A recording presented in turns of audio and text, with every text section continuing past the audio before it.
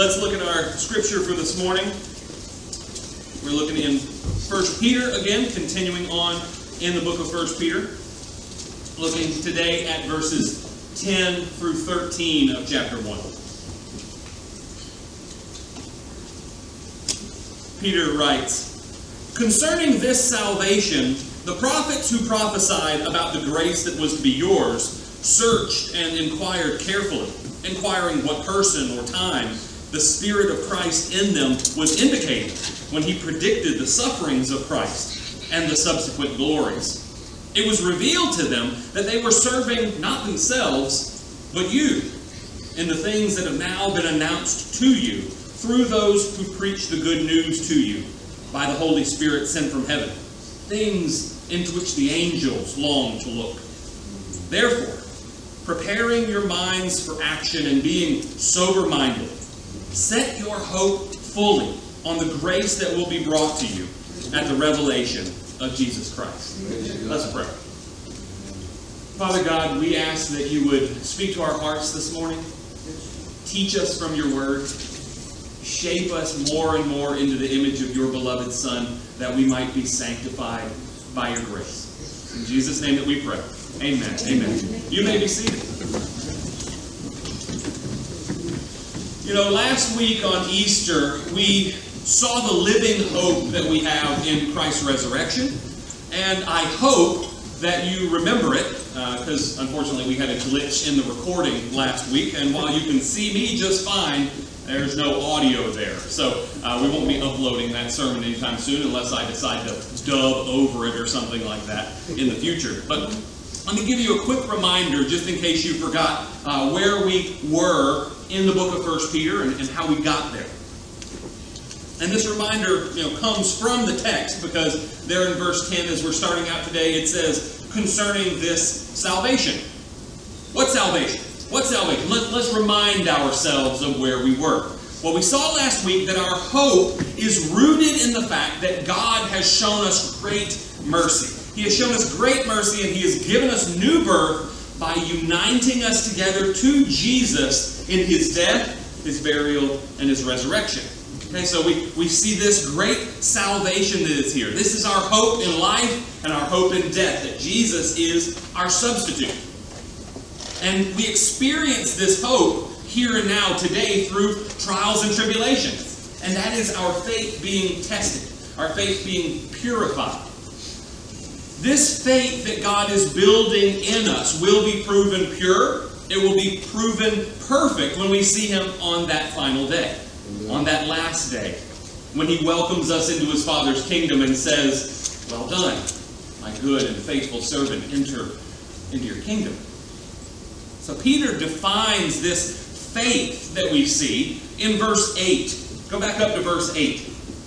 It says, Though you have not seen him, you love him. Though you do not now see him, you believe in him and rejoice with joy that is inexpressible and filled with glory. Uh, is that what your faith looks like? That was what we looked at last week. Do, do you love Jesus? Do you trust Him? Are you rejoicing in spirit of what things, contrary to what things might look like in your life?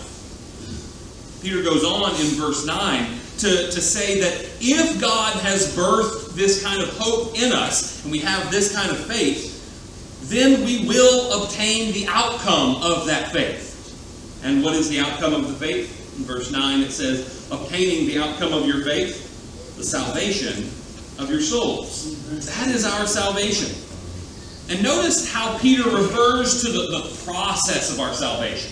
It is something that we have experienced in the past through the work of God in the new birth that we are experiencing here and now through the testing of our faith, and that we will experience on the final day as the salvation of our souls. It is a full picture. Salvation is something to be fully celebrated. It's not just avoidance of a terrible future punishment, but it's something that has roots in eternity past, which sustains us in the midst of our exile here and now, and is an inheritance in the glorious heavenly kingdom for all eternity. Amen? That, that's our salvation. And it is to be rejoiced in. And as we move into today's text, I want you to see that Peter is informing his readers, who are mostly Gentiles, we believe, about the history of their faith. He's giving them a, a glimpse into the, the history, the Jewish history of their faith, even the ancient history of the angels, so that they might fully appreciate their salvation. Stick with me here. What I think Peter is doing in this little aside in verses 10 to 12 is the same thing that we do when we tell our kids to eat their dinner because they're starving children in Africa. All right. How many of us have done that? You better eat, clean your plate because they're starving children in Africa. What are we doing when we say that? Why, why do we say things like that? Well, I think we want them to understand how fortunate they are, right? We want them to understand and appreciate what they have by letting them know how desirable what they have is to others who don't have it. And I think Peter here is giving these new believers some perspective on their salvation by doing just that, so they don't take it for granted. Look with me again at verses 10 through 12. It says, Concerning this salvation, the prophets who prophesied about the grace that was to be yours searched and inquired carefully, inquiring what person or time the Spirit of Christ in them was indicating when he predicted the sufferings of Christ and the subsequent glories. It was revealed to them that they were serving not themselves but you in the things that have now been announced to you through those who preach the good news to you by the Holy Spirit sent from heaven, things in which angels long to look.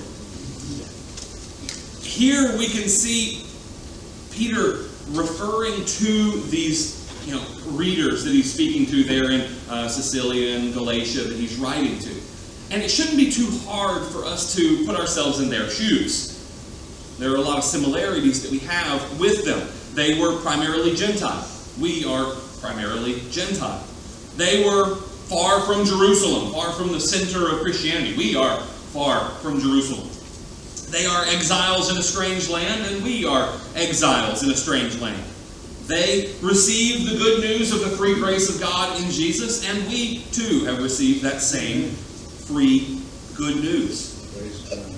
They were born again into a living hope, and we have been born again into a living hope. However, however, Peter knew that they were tempted to take that grace for granted, as we all are.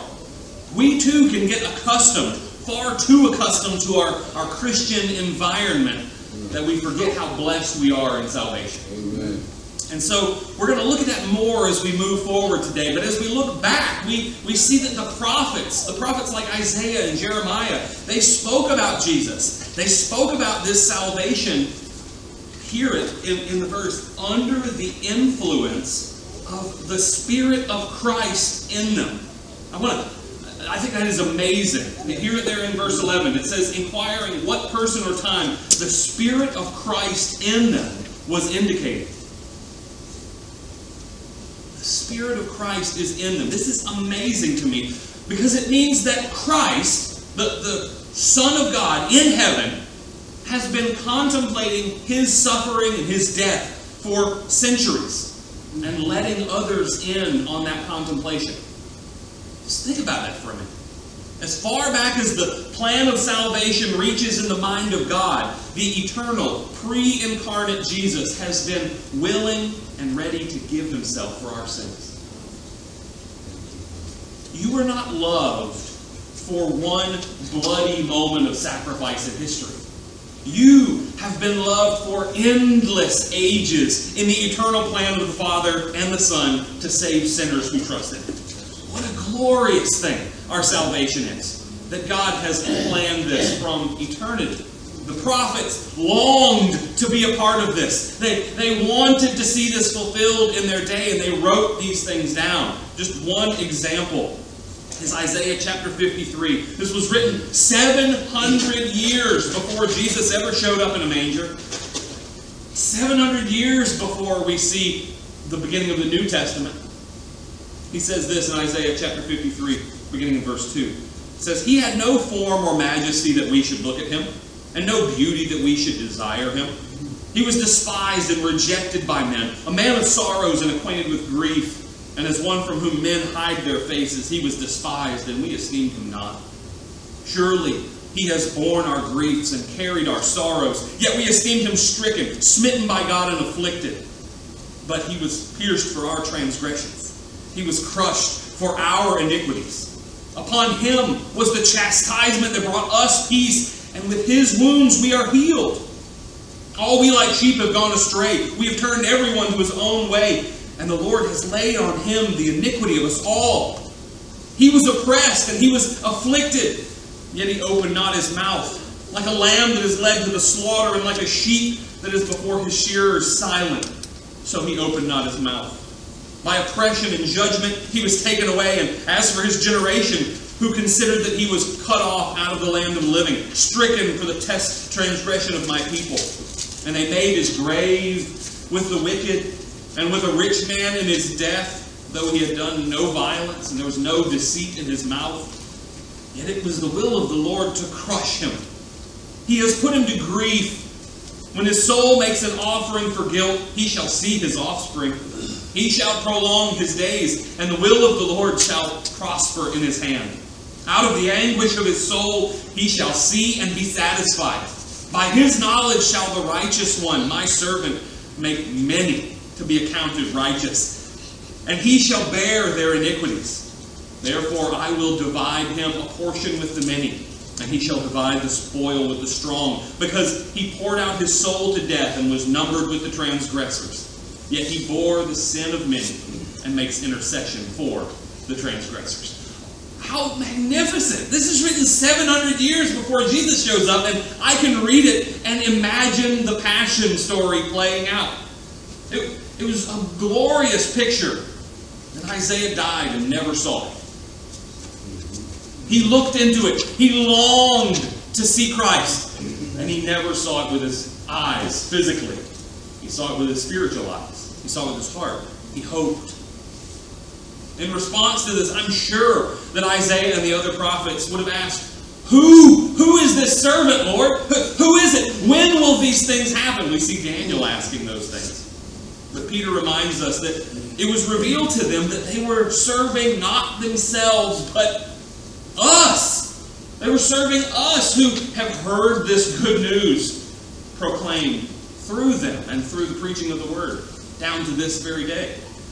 Peter is simply repeating the message that Jesus told him in Matthew chapter 13, verses 16 and 17, where he says, Blessed are your eyes because they see, and your ears because they hear. For truly, I say to you that many prophets and righteous men desired to see what you see and did not see it, and to hear what you hear and did not hear it.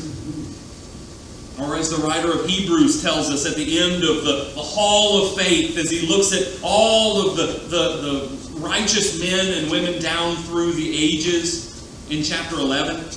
He speaks of all the giants of the faith and how they endured trials by faith, even though they never saw the thing that they were searching for. Here, verses 13 and 39 and 40 of Hebrews 11, it says, they, These all died in faith, not having received the things promised, but having seen them and greeted them from afar and having acknowledged that they were strangers and exiles on the earth. And all these, though commended through their faith, did not receive what was promised, since God had provided something better for us, that apart from us they should not be made perfect. Wow. What a, what a glorious thing to imagine the, the history, as much history as has passed since before, of people worshiping the point is that for thousands of years, from the time of Abraham and Job down through Joseph and Moses to David and Solomon and the prophets like Isaiah and Jeremiah, there were those who looked for and longed for the coming of the Messiah who would restore all things. They wrote down their hopes, they wrote down their promises that were given to them, and we have those in Holy Scripture. But today, the Holy Spirit speaks to us directly the Holy Spirit speaks to us through the preaching of the Word, and He lets us know the full story. And we can participate in a salvation that generations before us had only hoped for. What a salvation we have. Peter even goes a step beyond those saints of old, though, and, and he enters into the very heavenly realms, and he says that our salvation is something that even the angels have longed to look into. And he doesn't say this because they can't look into it. Okay, he's not saying that they want to, but they can't touch it. It, it means that they want to, in a sense, because they are outsiders of the, the drama of sin and redemption that we are part of. They are sinless, they've never fallen. They love to watch the drama of sin and redemption play out. It's their favorite show. I imagine, I imagine them, you know, watching with their popcorn, enjoying the, the next episode in the story of redemption play out. The angels long to look into this story. It's, it's the thing that's kept them on the edge of their seat for eternity. And they still are waiting for that final day when God says. They're still waiting. They're, they're with bated breath. They're holding their breath and looking into the story of salvation. I think Peter's point is this if the angels get excited about their salvation, then how much more should we be excited about our own salvation?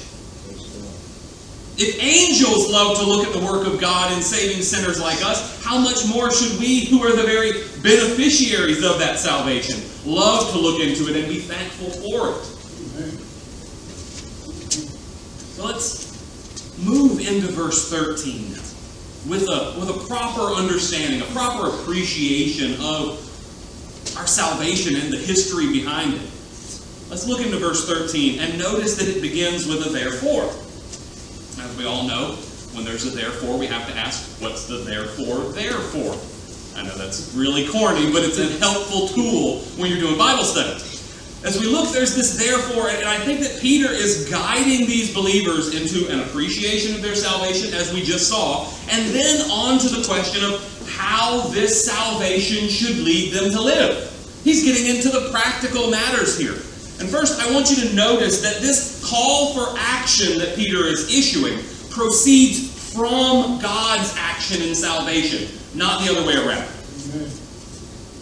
Our call to action proceeds out of God's action in salvation.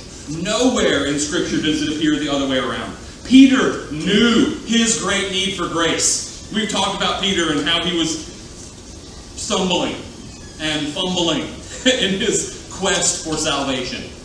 He knew that he needed grace. He was sure to make it known that our salvation is not earned through our holy living. Rather, as we will see, holy living is the natural, therefore, of being born again into a living hope. Amen. Here, Peter is moving us to the application of these doctrinal truths. We can't have one without the other. We can't have one without the other. What we're talking about, we actually just talked about this week in our WhatsApp men's you know discussion board there. Uh, we ask the question, what's more important in preaching or in the Christian life? Is it doctrine or is it application? And I believe that both must be present. The two have to be there. Now, Paul, in his writings, tends to separate those two a little bit more than Peter does. Paul, in his letters, usually features an intensive application section at the end of the book after the doctrine has been laid out in a nice systematic fashion. He, he puts all the doctrine on the table and says, now do this. and he lays it out. But Peter is much more integrated. Peter is much more integrated in his idea of doctrine and application. I think it's possible for us to gather and to debate doctrines, but never live them. And I also think that it's possible to thoroughly apply a very shallow and incorrect faith. And both of those are warped understandings and warped practices. Charles Spurgeon once said, When your mind is instructed concerning some grand truth, think doctrine. After you have sucked the honey and joy out of it, always say to yourself, but what are the bearings of this doctrine upon my life? How should it influence me? What would God have me do as the result of receiving a teaching such as this? That's how we balance the two. Again, it should be very, very clear that our faith and our obedience proceeds not from our personal experiences, but from the sound doctrine of the Word of God. That's where it comes from. That's where we get our bearings. Our personal experiences should proceed from our faith and obedience and not the other way around. So we see this, therefore, at the beginning of verse 13. And if we see it there as a transition from the information that has come before, and now we are into the instruction, that's, that's helpful. Or maybe it's the move from the informative or the indicative to the imperative. Well, we see that. We see that in the Greek as we read this. Uh, we see the, the main commands of Peter's words pop out to us in, in the Greek. Now, I'm just going to look at one of those commands today as we look at verse 13. I'm going to save the others and, future verses for the next couple of weeks. So today, we're going to look at hope. We're going to look at this hope that he speaks about in verse 13. And sometimes it's, it's hard to see with kind of all of the mix of verbs that we see in, in the English. But in the Greek, it's obvious what the main points are from Peter. He has a very regular structure, and he uses the imperative tense sparingly. So when he throws it in, it kind of pops out to us. And so let me read it for you, removing everything but the imperative tense. We clear it all out. It says this Therefore, set your hope. Pretty clear. Pretty clear what the main point is. That's our command. That's our imperative. Set your hope, or your Bible might say, fix your hope. So today's message is simple set your hope. Verse 13 says, set your hope, and here Peter is, is stating a direct command, almost like a, like a military commander giving an issue to his soldiers. Other translations say, fix your hope, and I, and I like that translation, uh, not because it's better, but just because it, it makes me think of something being broken. It assumes that our hope is broken and that it must be something that is fixed. And when I look around the world today, I see a whole lot of broken hope. A whole lot of broken hope. People's hope is broken, it's placed in the wrong things, it's shattered by disappointment. And Peter, in response, says, Fix your hope. This is a command on the part of every Christian that calls for uh, an act of the will more than just an emotional feeling. He's not saying, oh, you need to have a, a, a feeling of hope in your heart. This is a choice. This is an action that he is commanding us to do. And, and, he therefore calls us to remember our great salvation. That's why he says the therefore at the beginning. Concerning this great salvation, therefore, fix your hope. And hope is a great thing. Hope is a great thing. 1 Corinthians chapter 13, we all know it. At the very end, it says, Now these three remain faith. What's the second one? Hope. What's the third? Love. Love. We hear a whole lot about faith. Hear sermons, and books on faith. Hear a lot about love. But hope, I feel like it's left out so often. And, and I honestly wonder if it's left out, if it gets ignored because we like this life far too much. We'll get there soon. We talked about this hope last week, so I'm not going to belabor the point, but it's, it's born in us through the new birth. It is a work of God in us, and it's future focused as we look to this inheritance that's assured for all believers. This is a command.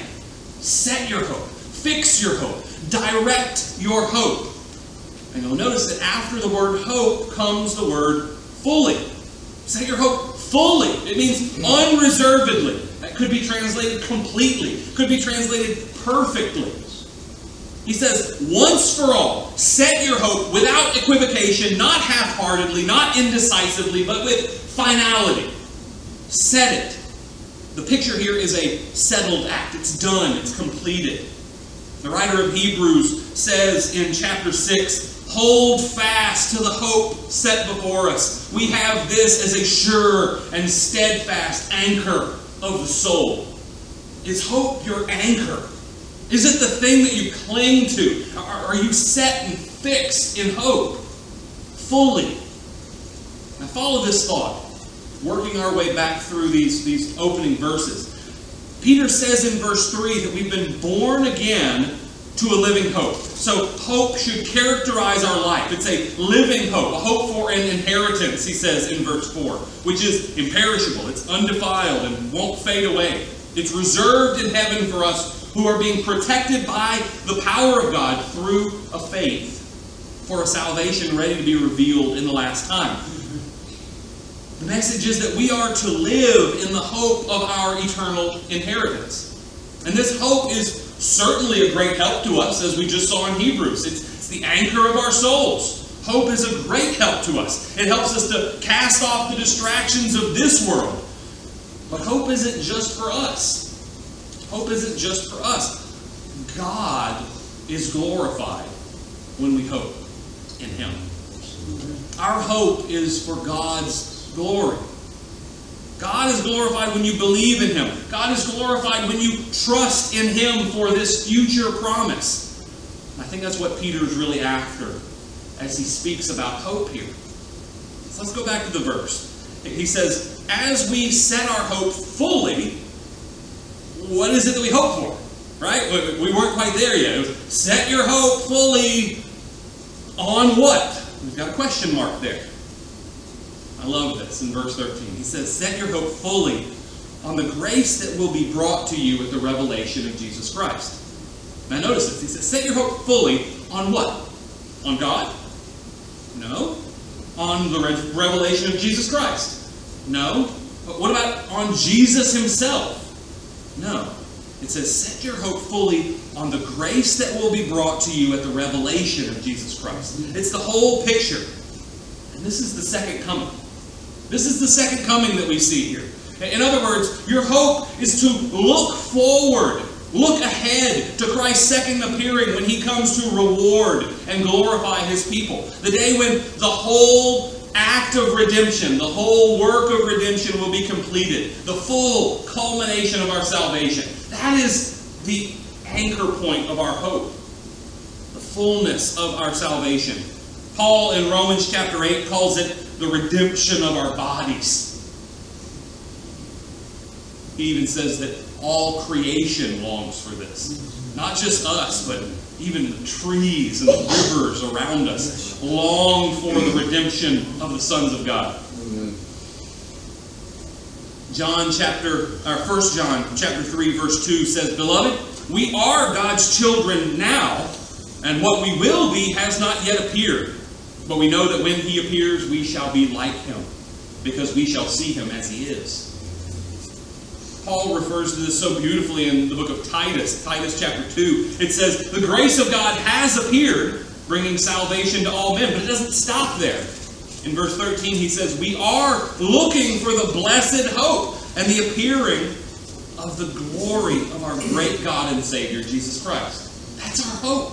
Our salvation doesn't just end with us accepting Christ as our Lord and Savior, and it's done there. And then we, oh, okay, I'll get heaven when I die, I guess. No, we are longing for the way that the prophets were longing for the coming of Christ in the Old Testament. We are still longing for the coming of Christ, for the culmination of all history, for the end of it all. Salvation phase one has appeared. Salvation phase two, in an ultimate sense, we still look for. And so the responsibility, the first responsibility that we have as those who have received a great gift of salvation is to look ahead, to look ahead for the coming of Christ. But notice as well, he doesn't say that we should set our hopes or fix our hopes on an event. And what an event it will be right? It's, it's going to be an amazing event. You hear people focus on that all the time. Wow, imagine what it's going to be like the, the lights and the skies opening and the trumpets and the judgments and all those things. But he doesn't say set your hopes on an event. In this passage, he doesn't even say set your hope on Christ. He, he doesn't say set your hope on the glorious reward that you will receive. He doesn't say set your hope on your perfection. Just imagine, you're going to be made perfect. He doesn't say set your hope on heaven and it's going to be fabulous. Instead, he says, set your hope fully on the grace. Did you get that? The grace that will be brought to you. I want you to know something. When you came to faith initially in Jesus Christ, it was all of grace. Mm-hmm. It was all of grace. And what's more, on the day that Jesus comes and glorifies you and gives you heaven and perfection and eternal life in His presence, it will be then as it was on the first day. All of grace. That's Peter's point. Do, do you imagine for a moment that God owes us our final glory because of something that we've done in our Christian life? Do you, for a moment, think that Christ will come and give to us what we've rightly earned by our spirituality? Are you under the illusion that your final glory and your final inheritance is yours by right, by earning, by worthiness? Don't be mistaken. Don't be mistaken. When you first came to receive the salvation of your soul, you didn't deserve it. You didn't earn it. You had no right to it. You weren't worthy of it. It was purely a gift of grace, and it won't be any different on that day either. It will be of grace because you won't be worthy of it then either, and neither will I. It will be unmerited blessing then, just as it was when we were first saved. It will be undeserved kindness, as it was the day we were first saved. We will no more deserve our home in heaven than we deserve our place in the church. We will no more deserve the eternal weight of glory than we deserve the indwelling of the Holy Spirit. We will no more deserve the sinless perfection of body and soul forever than we deserve forgiveness of sin in this body and soul. We will no more deserve unhindered, unbroken, sweet, intimate communion with the living Lord than we deserve to be able to pray to Him today. It's grace, and it'll always be grace. No man can save himself. No man can keep himself saved. And no man can earn his ultimate salvation glory. It is by grace that you have been saved. And this is not of yourselves, it is a gift of God. So that no one can boast. And just a little footnote here. Peter does use the present tense verb in verse 13. He says, Set your hope fully on the grace that my translation in the ESV says, will be brought to you at the revelation of Jesus Christ. But it could read, since it is present tense, the grace that is being brought to you. In the Greek, sometimes when they wanted to say something in the future was so certain that you could set your mind on it, that it would surely come to pass. It is something in the future that will come just like you know the sun is going to rise in the morning. Then they would refer to it in the present tense, even though it is in the future. What a, do, do you think that way about your final hope? That it is so sure to you, that it is as if it has already happened, as if it is happening right now. That's the idea here. That this grace is on the way already. Can you believe God for that? Can you set your hope fully on it? It is sure. It is done. That is such a good perspective to have. Just keep looking for grace, more grace, and the fullness of grace when the Lord gives us the inheritance that He promised us and that He promised all the sons of Israel. So someone at this point should rightly ask, okay, I want, I want to set my hope fully on the grace that is to appear to me, that is coming to me at the revelation of Jesus Christ. I want to do this. How? Somebody should ask, how? How do I do that? How do I set my hope on this grace? I'm glad you asked. Peter did not leave you hanging. How do we live in light of this grace? Let's go back to the verse and find out. Now, we said that the main verb, the imperative verb, is fix your hope. But there are two participles. And I know I'm getting into English territory here and lessons on that, and you might not understand. That's okay. In English, you can usually see participles because they end in ing. And there's two of those here in verse 13. Participles in the Greek always modify the main verb. They're kind of like adverbs for us. Okay, they, they modify the main verb. So here, we're going to look at these participles that modify the main verb, and they come right at the beginning of verse 13. This is what it says. It says, Therefore, preparing your minds for action, and being sober minded. That's how you fix your hope. They modify the main verb. The phrase in the ESV, preparing your minds for action, is one word. It's one word in the Greek. Preparing your minds for action. It, it, it has, it's a picture. It's a picture that is painted with words. And it means to gird up the loins of your mind. And you're, if you read in the King James, you may have that exact translation. Gird up the loins of your mind. Today we don't do a lot of loin girding, uh, and so we have to ask ourselves, well, what does that mean? What, what does it mean to gird up your loins? Well, in, in that time, and you know it because you've seen movies and you, you've understood what people dressed like in those days, they wore long flowing robes. They, they wore these robes that reached down to below their knees. And that was fine when you were relaxing at home or at a dinner gathering or doing simple activities. But those robes would get in the way when it was time for some strenuous activity, when it was time to do some work. Men would pull up the bottoms of their robe and they would tuck them into their waist belt and kind of make themselves little shorts. They'd have shorts on them. They'd just take the robe and tuck it into their belt, and ta-da, now you've got shorts and your robe is out of the way and you can get to work. You gird up your loins. That's the picture that we should see here. And, and today, we might say something like roll up your sleeves, right? That conveys the same kind of idea. With These I don't want these to get in the way. I don't want them to get filthy. I'm going to pull them up and get to work. I'm ready to go. We might say roll up your sleeves. It means prepare for action. And he doesn't just say gird up your loins, but he says gird up the loins of your mind. Of your mind. Okay, so this is mental action. He says, don't be mentally lazy. Be fully engaged. This isn't the only figurative picture, though, that Peter uses. He also tells them to be sober minded. This isn't simply referring to abstaining from alcohol, that's, that's part of it. But substance abuse can be one way of clouding the mind. But this phrase means more than that. It means to be self controlled, to be alert, our natural desires easily draw us into satisfying ourselves. And while not all of those desires are bad, they should never be in control of us. Amen. We should be in control of them. Amen. And so both of these expressions are active expressions. They're rolling up the sleeves of our mind and being fully self-controlled. This describes a life that isn't accidental, a life that doesn't just simply go with the flow. Instead, it's one that is intentional, fully engaged in living for Christ. Also, notice that both of these commands are directed towards your mind. Often, we can't control the circumstances around us, right? I, I, I tell my kids in school this all the time.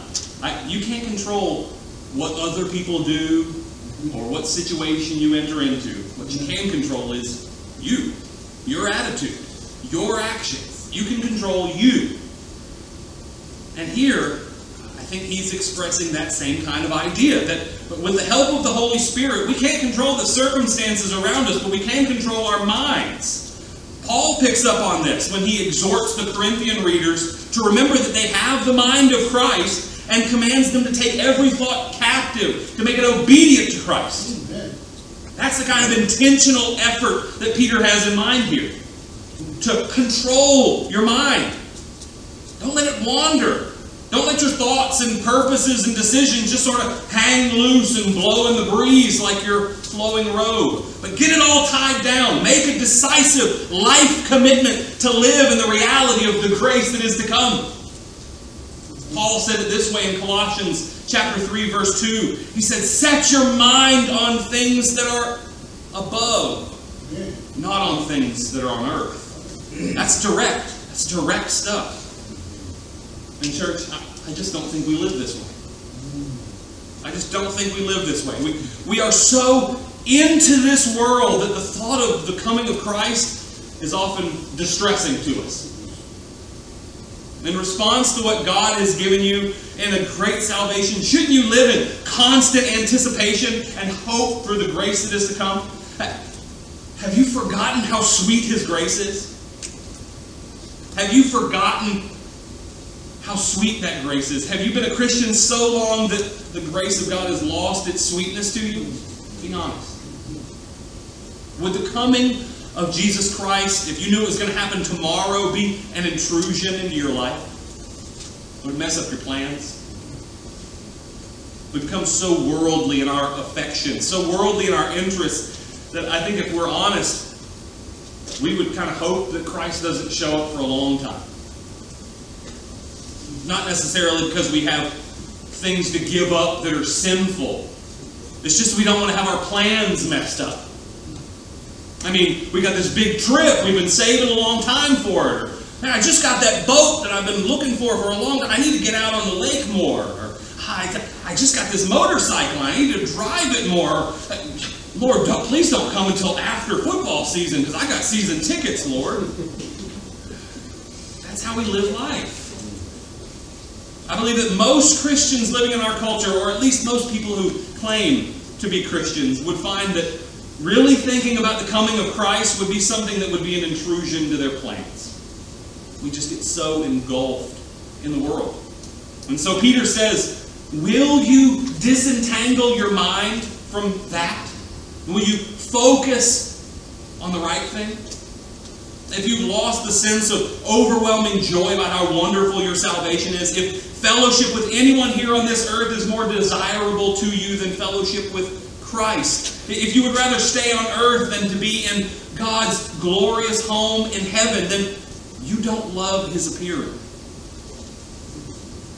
If you haven't girded up your mind, you haven't set your priorities, you haven't fixed your hope on the glorious grace that God has promised you. And it's probably because you've taken the grace that you've already experienced for granted. You've allowed yourself to become cold to its wonder. Don't do it. Don't do it.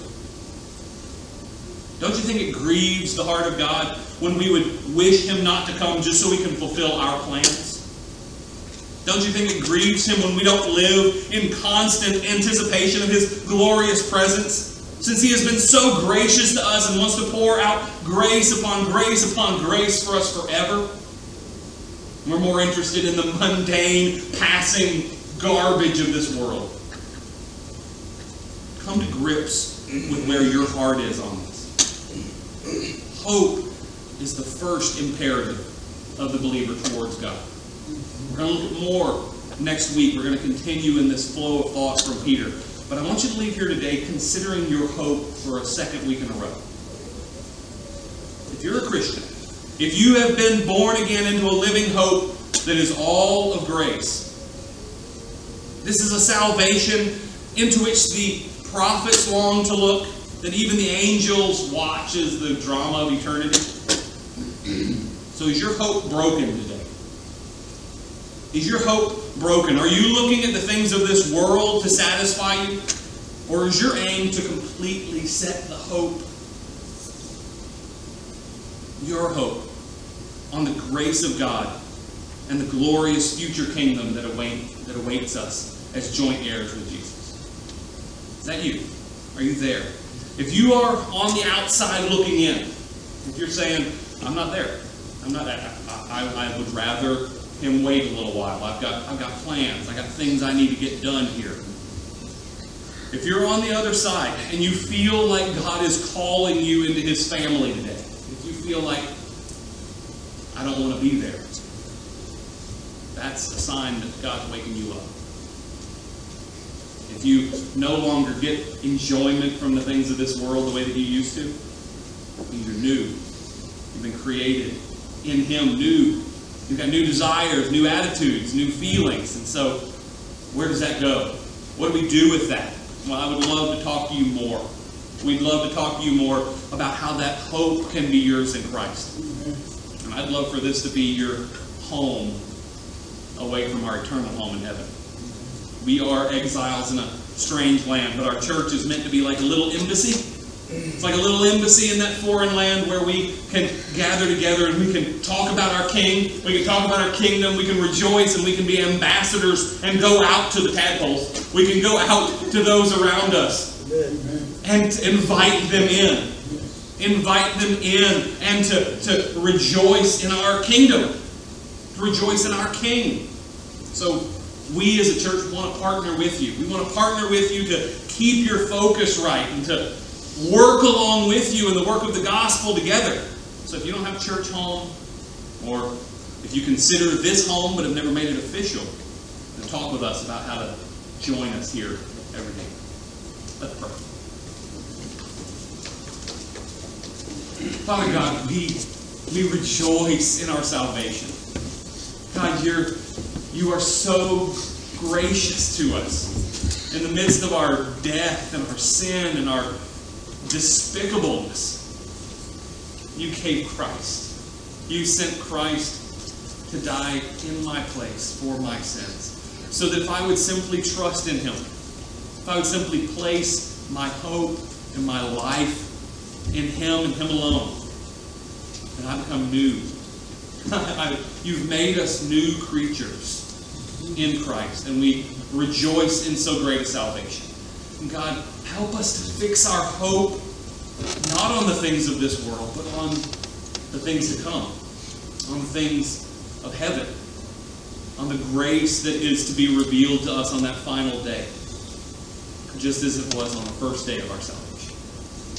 God, we give you glory, we give you honor, we ask that you would transform us, make us new yet again.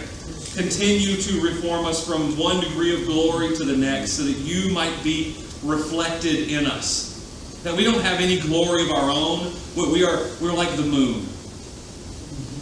We reflect your glory, oh God. You as the sun. We point others to you. Help us to do that in our daily lives. Help us to cast aside all of the cares that so easily entangle us, the sins that trip us up, and to gird up our loins. Prepare ourselves for action, Amen. that we might be about the, the Great Commission and the Great Commandment to love you and love others. Christ's name that we pray. Amen.